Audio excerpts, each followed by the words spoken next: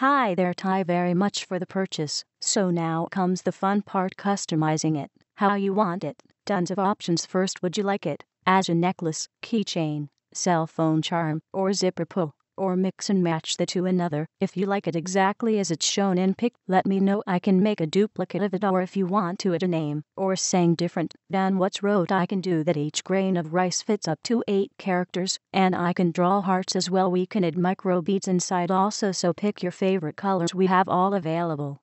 Smile, the sooner you respond back quicker I can get it made today for you. It'll even be able to send you a preview through here if you would like Ty very much.